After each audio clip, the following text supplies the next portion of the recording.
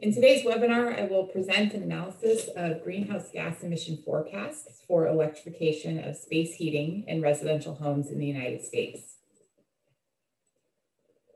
First, I'd like to acknowledge the project team, which includes R&D engineer Subhajit Chakraborty, programmer Mitchell Dichter, R&D engineer Nelson Dichter, and student researcher Aref Abod. I also want to recognize our sponsor, the Natural Resources Defense Council. I would like to thank Peter Gagnon from the National Renewable Energy Laboratory for his assistance in using the Cambium dataset for analysis, which I will discuss further. Our study objective was to estimate and compare the 15-year life cycle operational greenhouse gas emission impacts for both a natural gas furnace and a variable speed heat pump in a single family home simulated in locations across the United States. A gas furnace burns natural gas, which is approximately 95% methane for heating. A heat pump uses electricity to power a compressor-based refrigeration cycle to provide heating, essentially operating an air conditioner cycle in reverse. We forecast emissions for each heating system installed from 2022 to 2036 and operated for 15 years. Note that we only considered greenhouse gas emissions associated with operation of the heating system and not the embodied emissions associated with manufacturing the system. In order to complete this analysis, we have to account for emissions from a number of sources we're analyzing. In this case, the three different metrics we're comparing are carbon dioxide emissions, global warming potential on a 20-year timescale, and global warming potential on a 100-year timescale. Global warming potential is a metric used to compare the heating impact of gases in the atmosphere to an equivalent mass of carbon dioxide over the specified time frame. This gives us a way to be able to compare the impact of the release of various gases into the atmosphere. The heat pump has carbon dioxide emissions associated with electricity used to power the air handler fan, the compressor, and the electric resistance strip heat, which is a backup heat source used when enough heat cannot be supplied by the heat pump compressor alone. The heat pump also has refrigerant emissions from refrigerant leaks. Finally, a fraction of the electricity used for the heat pump is generated by natural gas power plants. Methane leaks associated with natural gas production for power generation are also analyzed. By comparison, the gas furnace has carbon dioxide emissions associated with the electricity used to power the air handler fan. The furnace is directly creating carbon dioxide when fuel is burned at the furnace for combustion. And finally, there are methane leaks associated with natural gas production, as well as methane leaks downstream the meter inside the home itself. Note that we did not include leaks from transmission and local distribution of natural gas because these infrastructure leaks are not expected to scale with consumption um, unless portions of the transmission and distribution infrastructure are removed or not constructed in, um, in neighborhoods that are uh, electric service only.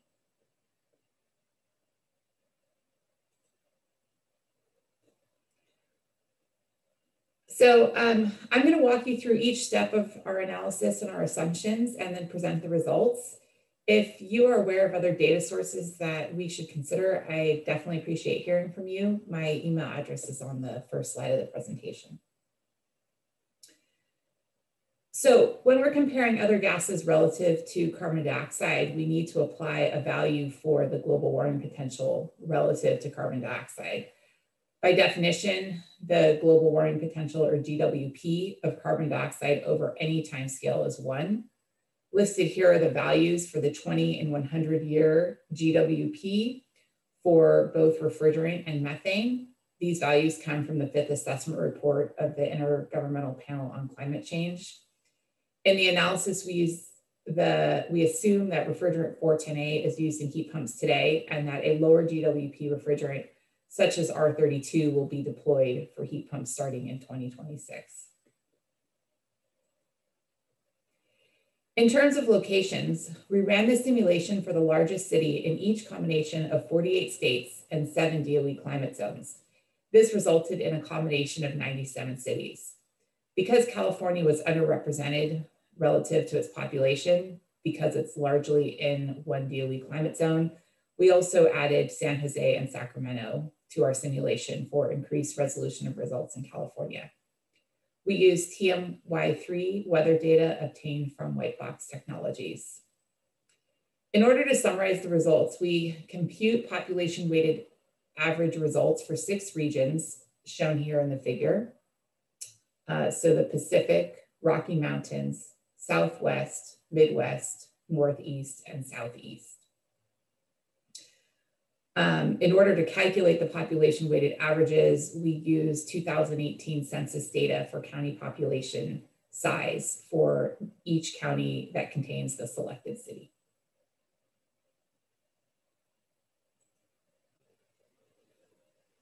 Okay, so in order to conduct this analysis, we needed hourly heating load data for a home simulated in the 99 cities in the United States. So we use a residential prototype building model from Pacific Northwest National Labs. We simulated both the 2016 and 2018 construction year models. The reason for this is just to look at how the results change depending on the construction properties of the building. The table here shows the main differences between the models. You can see from the 2006 to the 2018 construction years, there's a significant increase in insulation in the building. There is a significant reduction in the effective leakage area and infiltration of the building, and there's an improvement um, in the properties of the windows. Um, so newer construction, the newer construction model has a reduction um, in heating required. So switching gears to the mechanical systems modeled, since this is a forward-looking study, we selected a high efficiency gas furnace option, um, which was a condensing furnace with a 96% annual fuel utilization efficiency or AFUE. For simplicity, we sized the furnace at 100 kBTU per hour and ensure the heating hours are less uh, and ensure that unmet heating hours are less than 25 hours a year in every climate simulated. In some cases, that's slightly oversized, but the results of the analysis are the same regardless, since the efficiency of the system for a gas furnace is not affected by the capacity. We also include, as I mentioned, an analysis of the fan energy use associated with the heating mode only.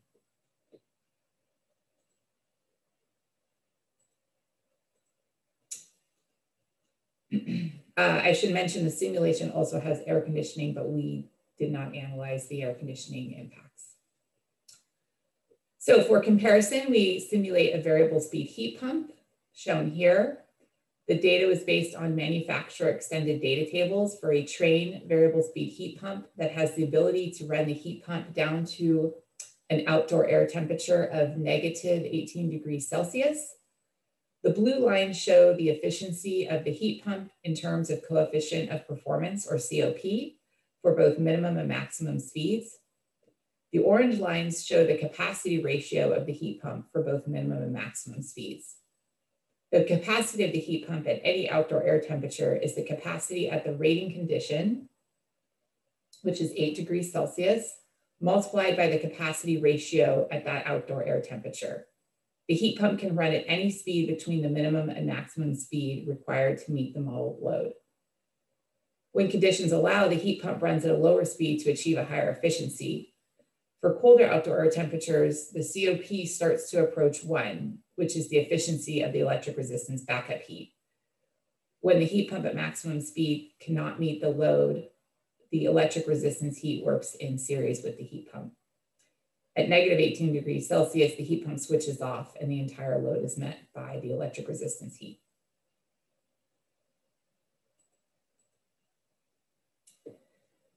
The Energy Plus simulation auto sizes the heat pump capacity in every climate simulated at 1.4 times the design day cooling load, which is a typical sizing method for heat pumps. We experimented with different heat pump sizing methods, but found that increasing the heat pump size to meet larger heating loads generally provided minimal benefit. This is because on the coldest climates, on the coldest days, the outdoor air conditions are below the switchover temperature of negative 18 degrees Celsius, such that the electric resistance heat alone is required to meet the load. You can see here how the heat pump cooling capacity and electric resistance heating capacity were sized in the city simulated. The capacities of the systems in the 2018 home were approximately half that in the 2006 home due to the decrease in heating load.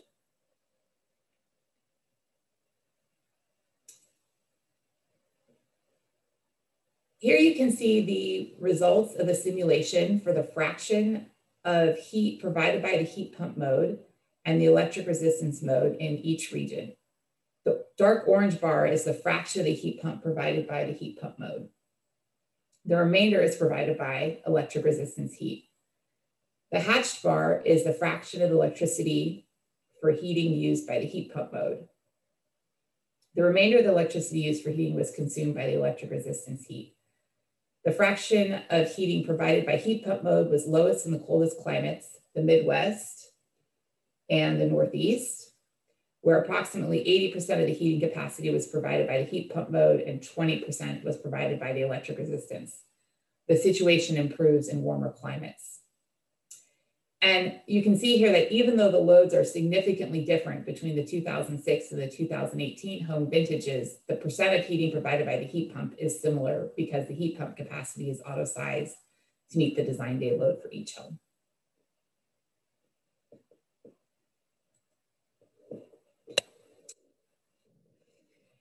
In order to determine the carbon dioxide emissions associated with end-use electricity consumption, we use a recently released data set from NREL called Cambium.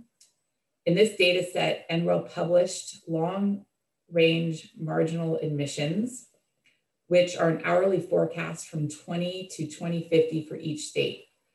The long-range marginal emissions rate is the mixture of generation that would serve a persistent change in the electricity system and takes into account structural changes in the grid in response to demand. This is an appropriate model to use for heat pump ad adoption because it's expected that there will be a persistent change in load if adoption increases across the US.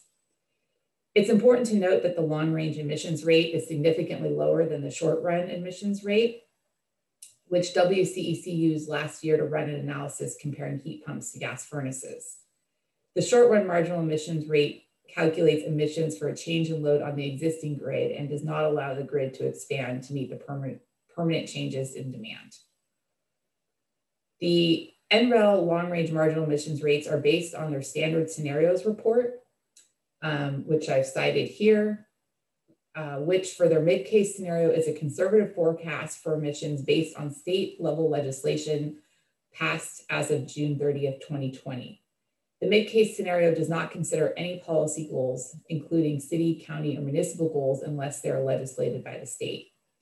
In our analysis, we applied the low-cost renewable scenario, which better reflects the existence of policies that encourage additional renewable growth beyond state level legislation that's in place currently. The low level renewable scenario forecasts that renewables will provide approximately 70% of the electricity produced in the US by 2050. The goal of this slide is to show you data from the uh, NREL data set to show how the long range marginal emissions vary by state. This shows the average long range emissions over a 15 year period shown here by state and grouped by region. The change in emissions does vary by hour of day and by time of year. And while that was considered in the analysis, that's not shown here.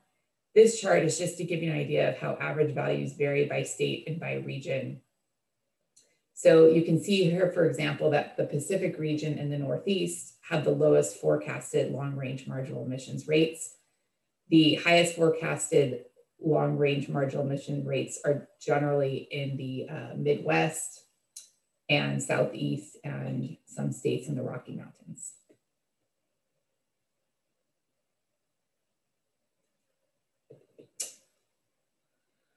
Okay, uh, the other source of CO2 emissions is from direct combustion of natural gas, which is a very straightforward calculation. Um, it's the natural gas consumed by the furnace multiplied by an emissions rate for combustion obtained from the US Energy uh, Information Administration or EIA.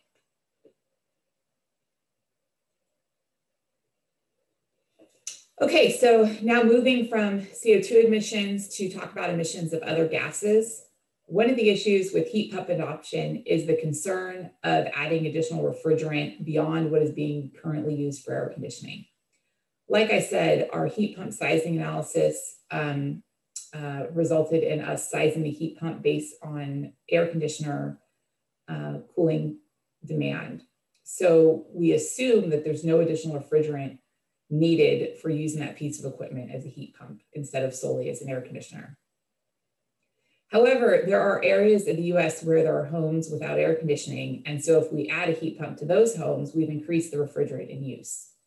In order to estimate the fraction of homes without air conditioning in regions of the US over time, we forecast the expected air conditioner adoption in the United States by region based on the most recent data published by the EIA in 2015 you can see that we forecast the lowest air conditioning penetration in the Pacific region, which includes coastal climates.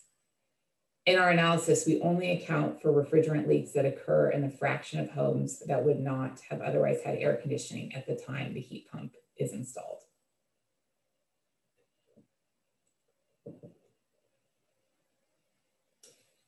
In order to account for refrigerant leaks in heat pumps, we have to assume a refrigerant leak rate. First, we assume the refrigerant amount contained in a heat pump is 0.256 kilograms per kilowatt of cooling capacity. We assume that the heat pump function does not increase the refrigerant charge, as I previously described. We use data from the US EPA to estimate the annual refrigerant emissions. Refrigerant emission rates are estimated based on some loss refrigerant at the time of installation during the operation of the system, and then some loss of refrigerant at end of life and removal and disposal. We've taken all that into account and calculated an average loss rate per year, which we assume is 7.5% per year for a heat pump installed in 2020. However, we assume that the annual leak rate amount decreases slightly for heat pumps installed in future years uh, using this function that I show here. Uh, we make that assumption uh, due to expectations and improved manufacturing, installation, and operating practices. As I mentioned, we assume that R410A is installed until, um, is used for installations until 2025, and that R32 is used 2026 and later.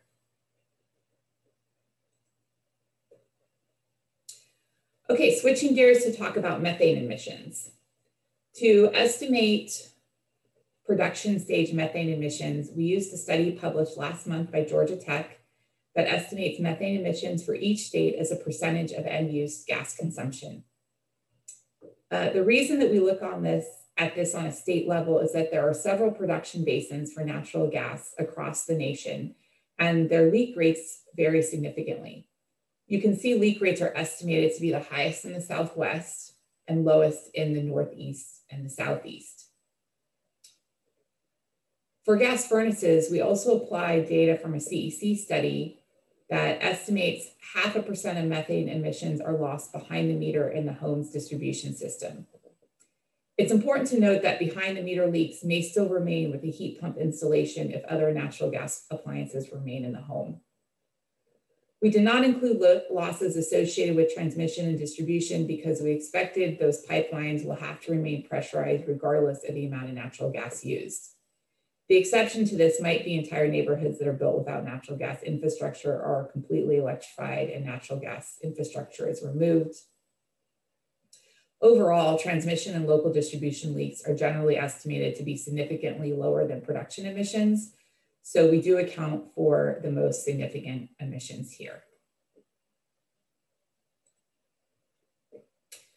As I mentioned, we applied the emissions from production to both natural gas used in the furnace and any natural gas used for electricity production.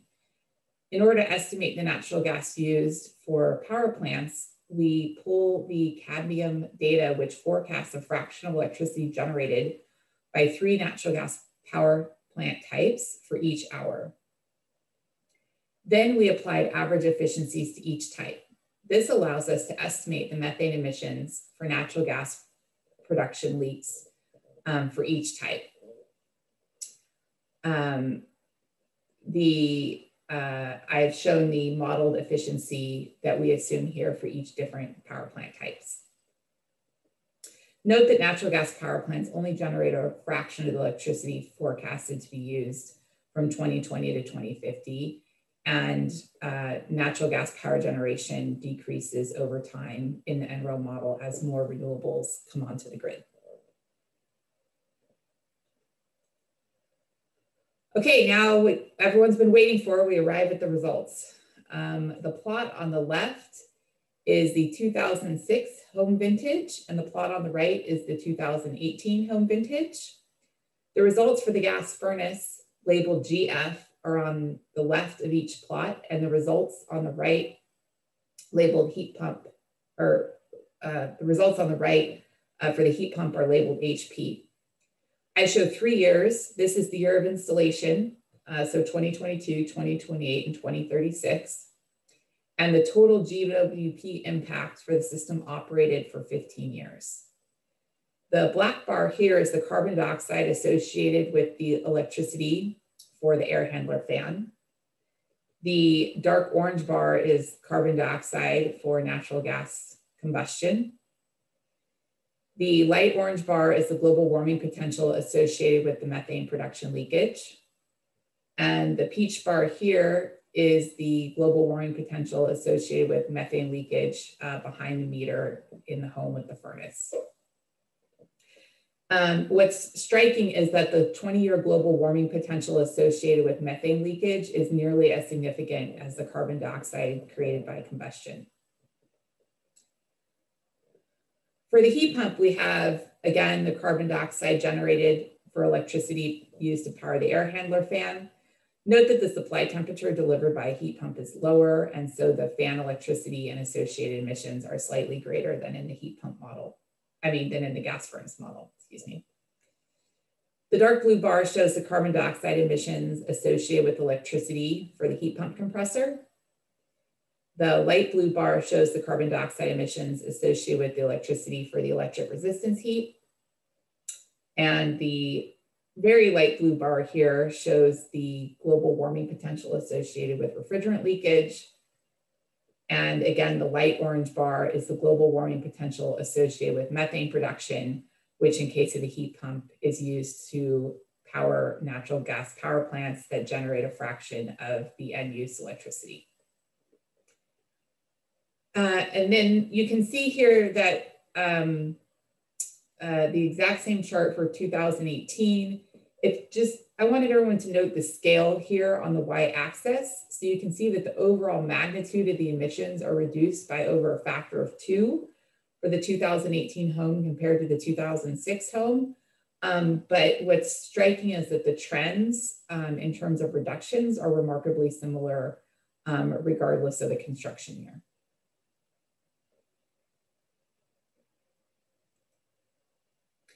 On the next slide, you see the same analysis, but for the 100 year global warming potential. When you look at the 100 year versus the 20 year timescale, the biggest takeaway is that the methane emissions um, have a more significant impact compared to carbon dioxide on the 20 year time scale and are less significant on a 100 year time scale. Um, otherwise, the, the trends again are, are quite similar.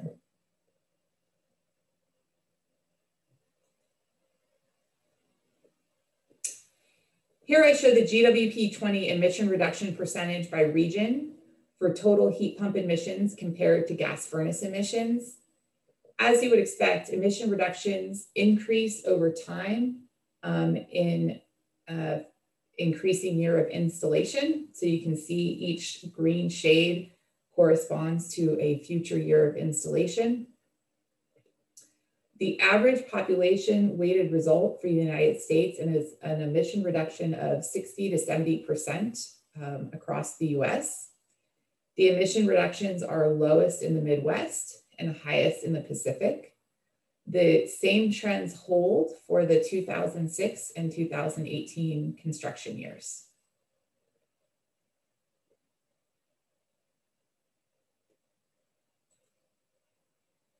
If we look at this on a GWP 100 timescale, where the impact of methane and refrigerant is less influential, you can see that the overall emission reductions are generally reduced slightly to an average of 50 to 60% across the US. And again, our lowest in the Midwest and highest in the Pacific.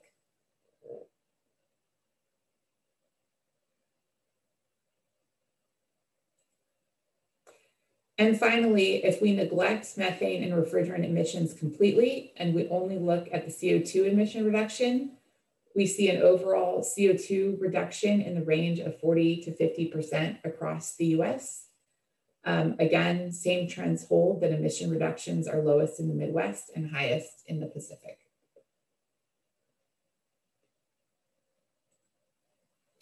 So in summary, our analysis shows that significant emission reductions are forecasted in all regions. Um, they're greatest on the GWP 100, excuse me, they're greatest on the GWP 20 timescale. There are a few limitations to the analysis and the results that I presented. As I mentioned, we simulated 99 cities and presented regional averages that are population weighted it's important to note that the regional averages may not apply to smaller cities with the coldest climates. Um, it's our goal to make full data tables um, available on our website at a later date. Um, so please subscribe to our newsletter uh, if you would like to uh, receive updates. Um, also very important to note that the results shown here are highly sensitive to the forecasted emissions for end use electricity generation. Um, as I discussed, we're using these um, long range marginal emission factors uh, provided by NREL. Um, as such, the results presented here today are significantly different than the results presented last fall by our team. The main difference in the model being a shift from short range emission forecast um, from, um, from a 2018 year to now long range forecasted marginal emissions that allow the grid to expand with renewables to meet um, future electrification demand. These long range national emissions forecasts did not exist until a few months ago. Um, I also want to note that I mentioned we simulate heat pump controls uh, with a setback from 68 to 65 at night with a essentially a morning recovery of the heat pump that tends to rely on electric resistance heat at that time. Um, there is a potential future opportunity for improvements to heat pump controls to load shift heating to times when emissions on the electricity grid are lower.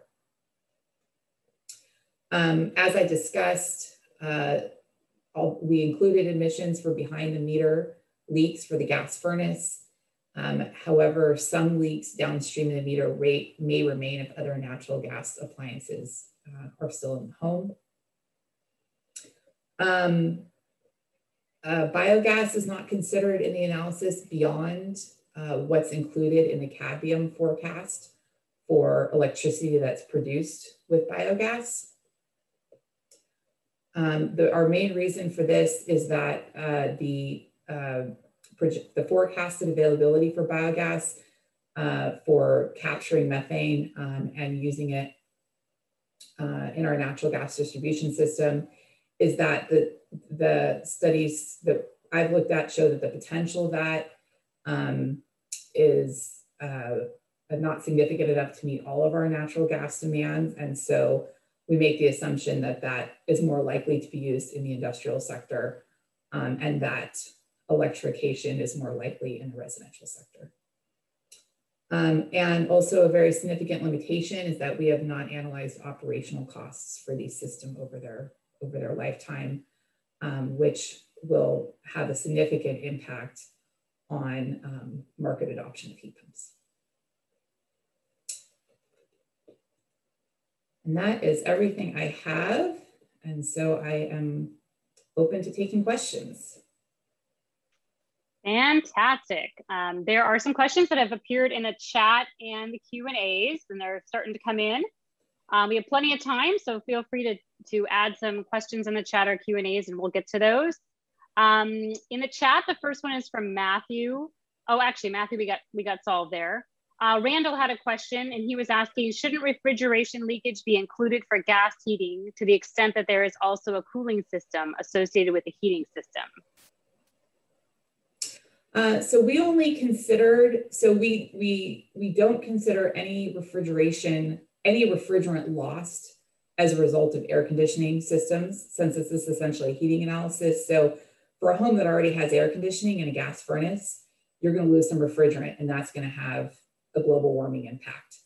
If you install a heat pump in that same home and the amount of refrigerant is the same, then, then uh, it's essentially a wash.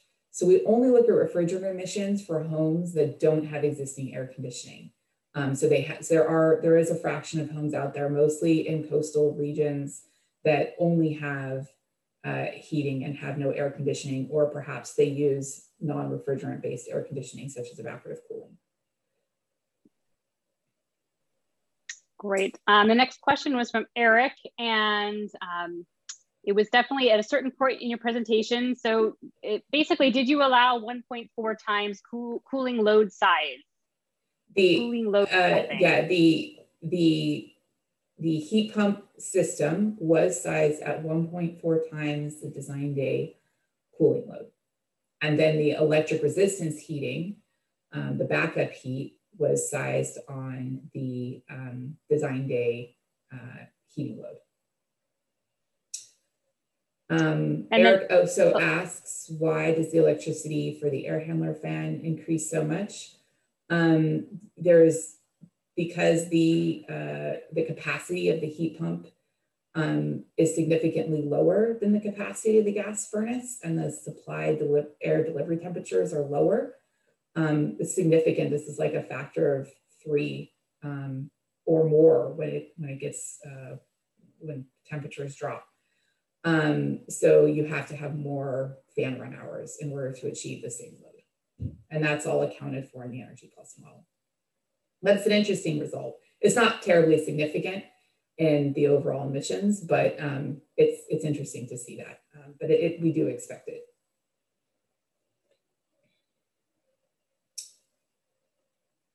Um, Siva asked, what is the assumption for the end of life refrigerant loss? Um, in case of a heat pump. I'd have to go back and exactly look at the references we used, but um, I, there's some evidence that in, in some cases, refrigerant isn't recovered. When a heat pump is removed, it's essentially like vented or lost to the atmosphere. And so the EPA essentially estimates overall for the whole population of residential air conditioning systems what fraction of refrigerant is lost over the life.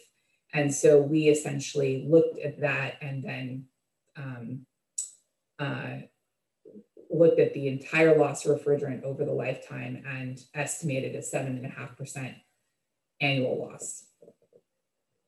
Um, refrigerant refrigerant loss rates are um, are you know, there are lots of different sources on that, and there's not that much data on residential systems. And so there's sort of differing analysis on what that is.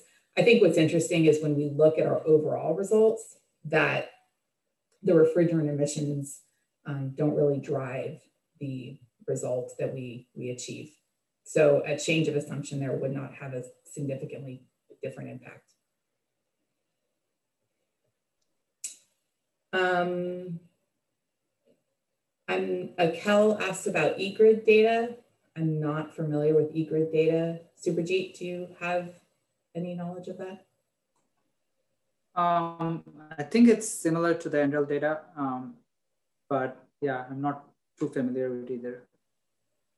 Um, I don't, yeah, I don't have an answer on that at this at this moment. Um, so we could look into that further. Um, Mattel asks, what about the sizing of heat pumps based on load? Um, as I explained, they were sized at 1.4 times the design day cooling load. And we, um, we, uh, we, we analyzed uh, different heat pump sizing factors and did not find a significant uh, change in the results. Um, and so we, we essentially settled on using that 1.4 factor. Um, you also mentioned that there is outdoor fan power associated with the heat pump, uh, and that is included. It's included in the in the compressor number. Um, I just we just didn't disaggregate that. So just to clarify.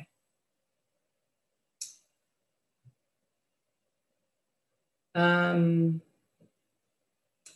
per your, Sharon says, per your results, it seems like there is not a big impact of doing a lot of research and then market transformation in low GWP refrigerants.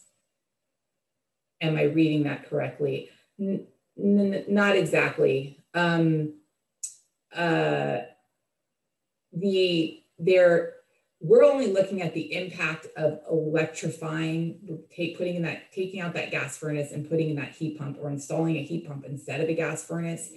If you would have installed an air conditioner, then you would have that refrigerant anyway.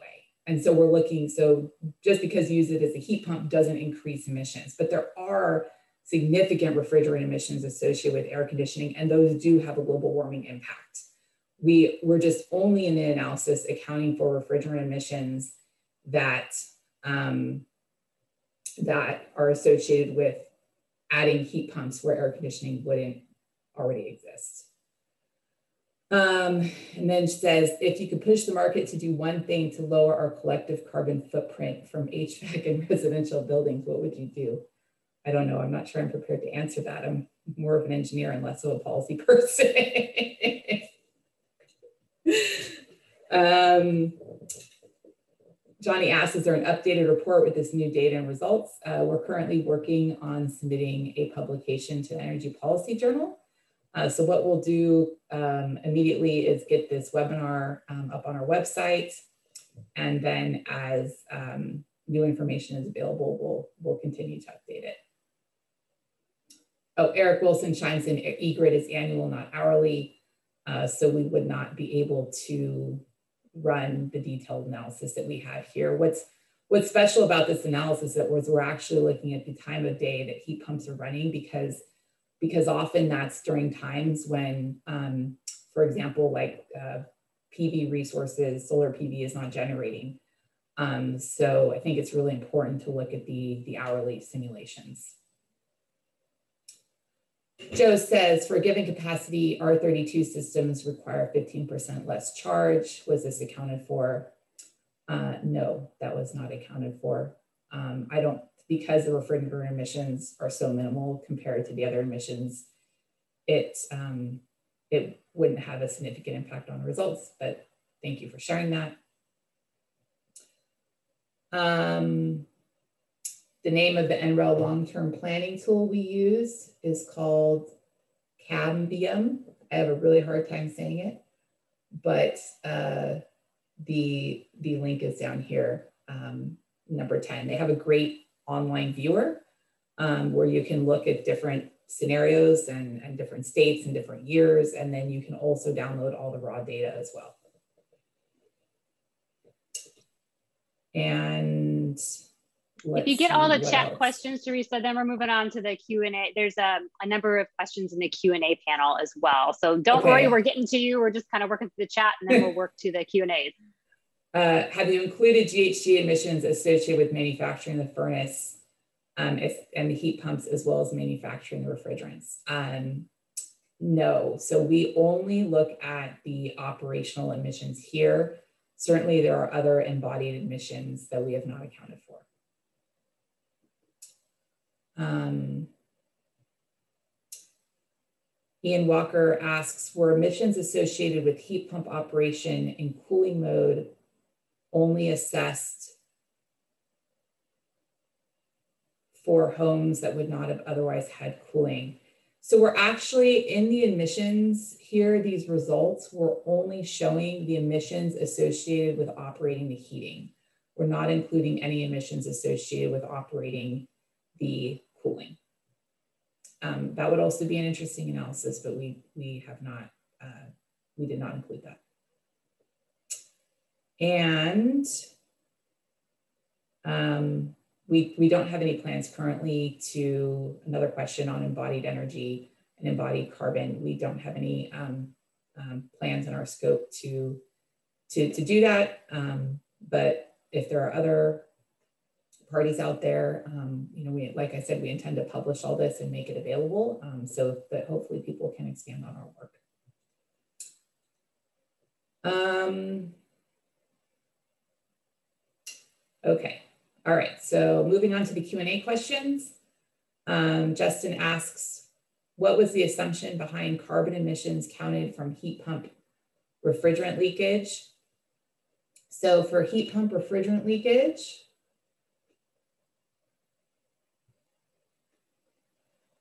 we, um, they're not carbon emissions, it's refrigerant emissions multiplied by the global warming potential for that particular refrigerant gas. So we assume a certain fraction of homes um, won't, wouldn't otherwise have air conditioning. When we add those fraction of homes have heat pumps added, we uh, figure out what the charge of that heat pump would be, and we assume a certain leak rate, and we assume a certain GWP applied to that that leaking refrigerant.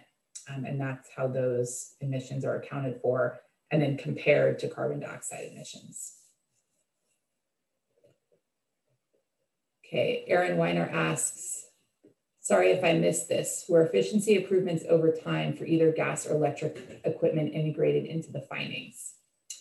Ah, uh, no, we only modeled the very specific equipment that I've shown here, 96% AFUE for the gas furnace, and this particular piece of uh, Trane equipment that uh, has the efficiency curve shown here.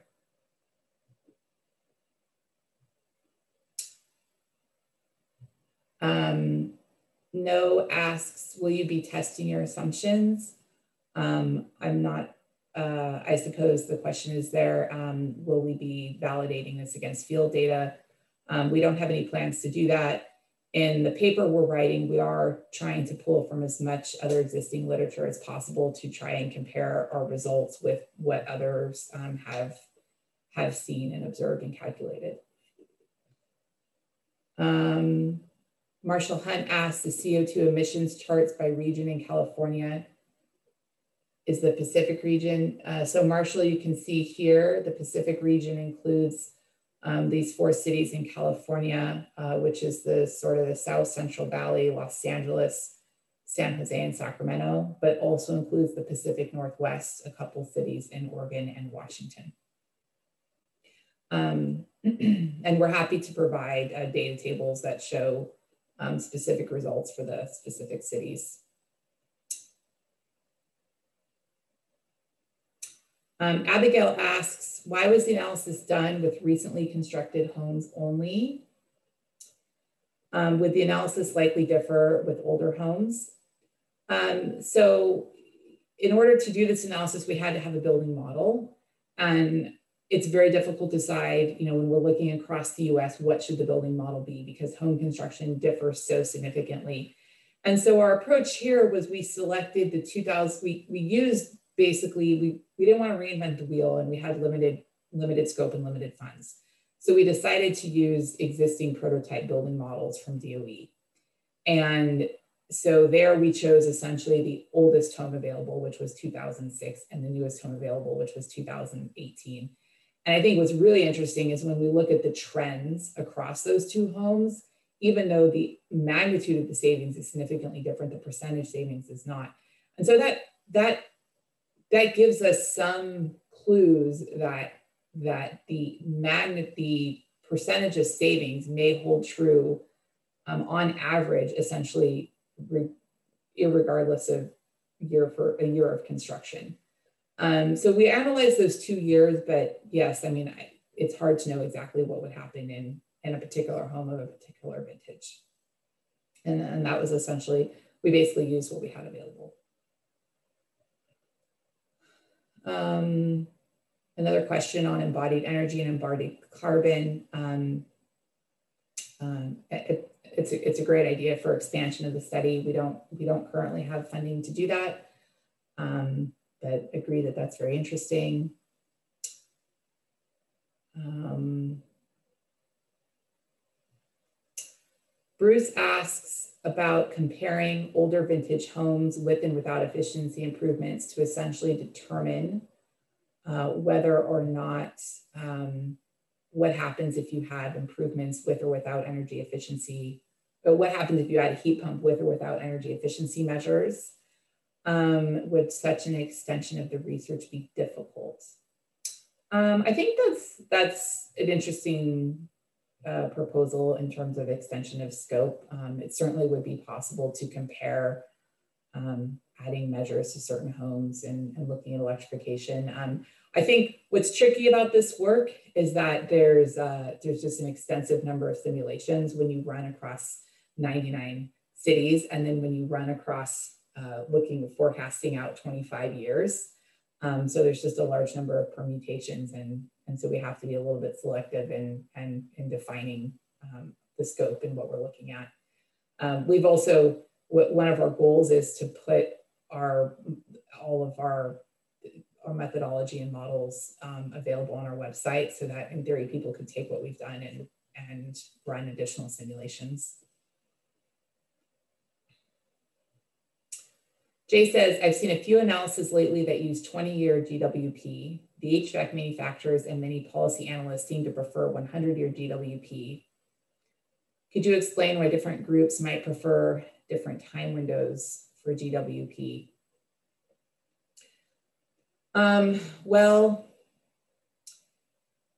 the impacts of methane leaks and refrigerant leaks are lower when you look at a 100 year time scale. Um, it's more dramatic when you look at a 20 year time scale. Uh, I'm not a climate scientist, so it's a little bit hard for me to answer the question as to, to there's just, there's a lot of debate on really how, how we should prioritize and how we should, should weigh the impact of different gases in the atmosphere and, and 20 year and 100 year timescales using this GWP method are, are one way to do that. And I've presented the results here for both of them so that um, so that um, people have the information. Um, but it's hard for me to say exactly um, uh, which we should prioritize. Um, okay. Bruce asks, is the EPA estimate 7.5% per year, or is that your figure based on their data? Um, that is that is our figure um, based on our data. Um, based, sorry, that is our figure based on their data. And in the paper we're working on, we have a we have a short explanation as to how we how we get that number from their data. But it's basically taking the installation operation and decommissioning leaks and averaging it over 15 years. No asks, why is the GWP on the gas furnace not transferring to the heat pump if you were looking at it from the source?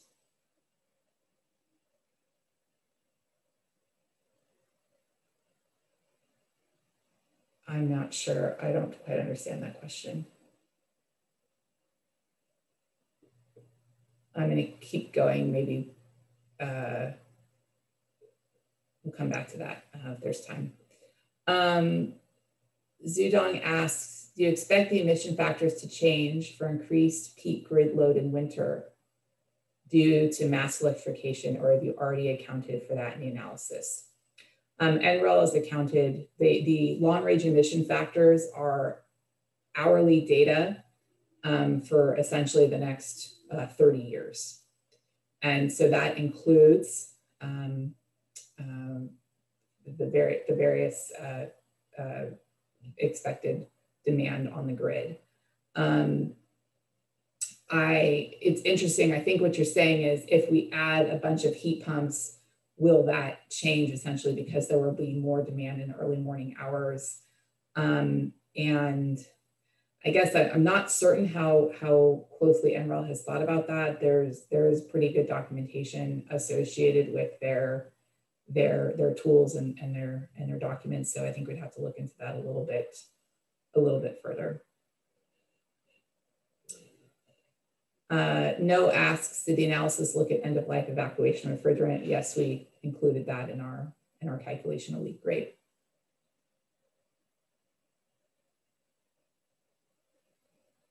Uh, are there plans to run these models with vapor injection class inverter heat pump technology? Um, we don't have any existing scope to expand on this work. Um, we are a grant funded research institution. So if there are parties out there that want to investigate um, doing additional work on this with us, sure, feel free to contact me. Um, Akel says, future gas furnaces will be fueled with blended hydrogen. How will the analysis change if you were to include this aspect or analysis? The gas grid will change in the next 20 years, just like the electric grid will change. Um, yeah, like, like I said, um, we assume in our analysis um, as a limit, as a limitation of our analysis that uh, we assume that the methane, the natural gas produced is, is essentially extracted from the ground. Um, and so changes in those assumptions would change the results. Um, and so, uh, like I said, we, we use data sources that we had available to us. Uh, we can certainly consider others. Um, I think our thinking on the residential side is that it's the easiest to electrify, the heating loads are the easiest to electrify, and that that one expectation, you know, one potential future version of the world is that the gas structure is uh, prioritized essentially for industrial loads and some commercial loads. Um, but regardless, just being very transparent, right, that that was a limitation of our study and that we, um, we did not look at those scenarios. Um, Dennis says, some heat pumps can have two to three times the amount of charge you assume because they often utilize larger heat exchangers than minimum efficiency air conditioners. Uh, the choice to essentially not count any refrigerant leak impacts for any system that already has AC really undervalues direct emissions of heat pumps. Maybe you could scale the lifetime refrigerant leakage proportionally to the annual heating versus cooling energy of the system. Um, is the heat pump share direct leakage? So, you know, on the issue of what refrigerant emissions to include, I mean, the issue is, is that if you install a gas furnace, it's highly unlikely that somebody is also going to get rid of their air conditioner. I think that air conditioner adoption rates in the US are, are there's just rapid adoption um, and growth in the air conditioning industry. And so it's, it's kind of hard to imagine that it, even if somebody doesn't have a heat pump, they would not choose their air conditioner or not have one. Um, so anyway, you know, it's it's it you know it's debatable, I suppose. Um, we did some literature review on uh, the charge for the heat pump. I think I included um, uh, one source down here, um, but certainly if you have other any other sources you think we should consider um, on heat pump charge, uh, please feel free to share. Um, the amount that we assume here was consistent with the heat pump that we modeled.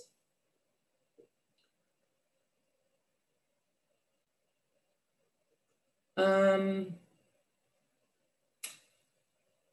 let's see, um, regarding embodied GHG emissions, both furnaces and heat pumps with current tech, the vast majority of the GHG impact is from energy consumption. If you include the refrigerant impacts for the heat pumps, as is done here, and even more clear than body energy isn't likely to be significant. Uh, this is from uh, EIO life cycle cost analysis. Um, thanks for the comment, Abigail. If you wouldn't mind forwarding on that source, that would be um, um, appreciated. Um, Kevin Duell says, how sensitive is the analysis to heating set points? Um, we actually played around with that a little bit.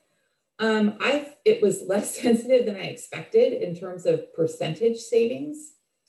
Um, but I think that's one of the most interesting, you know, potential sort of add-ons to the work is, is thinking about how heating set points could be changed or manipulated to minimize emissions.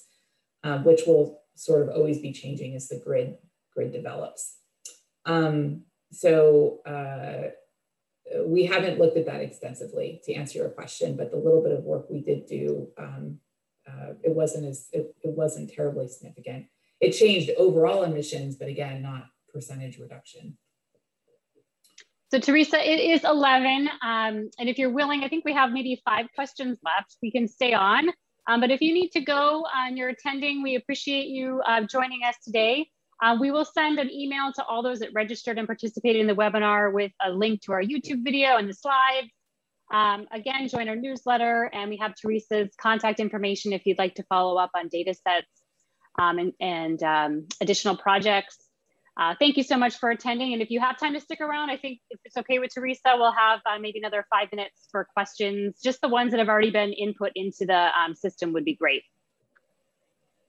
Um, okay, I'll keep going. Um, Joe asked about electricity transmission and substation insulating gas um, SF6, with, which has a very high global warming potential. Um, it's not included, however, uh, we did do a quick calculation on that. We looked at the global SF6 emissions and the uh, uh, the global um, electricity used just to get at least a magnitude of SF6 emissions relative to electricity consumed. Um, and then we look at how much electricity a heat pump is using over its lifetime. And as you can see here, the GWP emissions are on the you know tens of thousands. The SF6 impact in terms of global warming potential, you know, quick order of magnitude calculation was in the hundreds. And so, you know, compared to the 10,000s. And so it, we, our, our quick math was that it was not terribly um, significant. And so we did not go down that road further. Um, Matthew asks, is there data to consider effects of shifting natural gas from end user under electrification to greater gas turbine generation in place of coal, an effect of gas turbine inlet cooling effects during peak winter months when heat pump loads on the grid are the highest?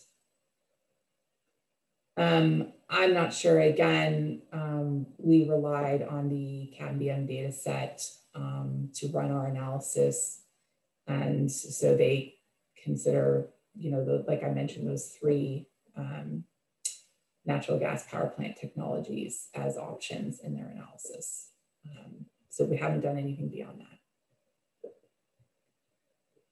And Ron asks, may we please see the 20 year GWP slide compared to the 100 year? Um, and we'll, again, we'll post these slides online for you to see. But again, here is the 20 year, and here is the 100 year.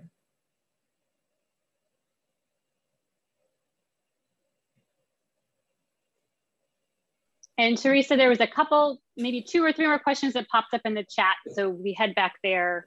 Um, one of them has been answered, but the one starting with Ross. Um, chat, okay. Um, Ross, have you conducted analysis comparing gas heat pumps or residential combustion systems to electric heat pumps? No, but we have been asked um, a couple of times about uh, like a gas driven heat pump. And so um, it's a potential that, that we may get some funding to do that analysis. I think the next one from Matthew you already answered. And then there's one um, below that. And I think that might be the last one. Uh, okay. Oh, um, let's see. Uh, this this comment is: I was one of the developers of the PNNL residential prototype models. Oh, thank you. Um, one of the key differences between these models and older vintages would be the conditioned floor area. New homes tend to be larger, um, and old homes tend to be leakier, and that would be potentially an interesting angle to explore. Um, I agree. We, although I don't show every result that we've done here, however, um, uh, we did run, we have run some analysis on looking at different leakage rates, looking at different square footages and floor areas. And the shocking thing to us is at the end, when we calculate the percent difference, is that we pretty much end up in the same place. Um, I mean, things shift a little bit here and there, um, but uh, but yeah, I agree. It's, it's sort of endless the the number of variables that we could look at. Fantastic. Well, thank you so much for your presentation and thank you all for joining us. And we will follow up with a link to the, the video as well as the slides um, in the next day or so and um, stay in touch. And thanks again.